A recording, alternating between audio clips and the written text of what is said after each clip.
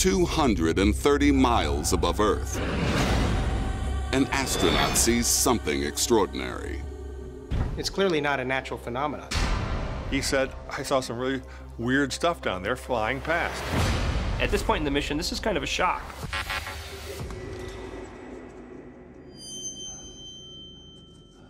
You're very aware, uh, hyper aware, when you're doing a spacewalk, because you are in a pretty dangerous situation. It's Chiao's fourth and final trip into orbit. It's exciting on many levels and, and also stressful too because you don't want to mess up your last one, right? That's what they all remember you for. Orbiting Earth at more than 17,000 miles per hour, Chiao is completely unprepared for what happens next. Suddenly I look up and I see these five lights and they seem to fly by. And he reports, wow, I've just had echelon formation of like five lights. My heart just kind of leaps up into my throat. And, you know, what are these lights? I called to Salizhan, my crewmate. I said, Salizhan, do you see those lights? Do you see them flying by?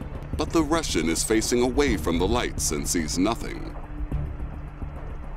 Even the space station's onboard cameras miss the action. But the incident does trigger the curiosity of former NASA engineer James Smith. He digs out satellite images from around the time of Chiao's encounter.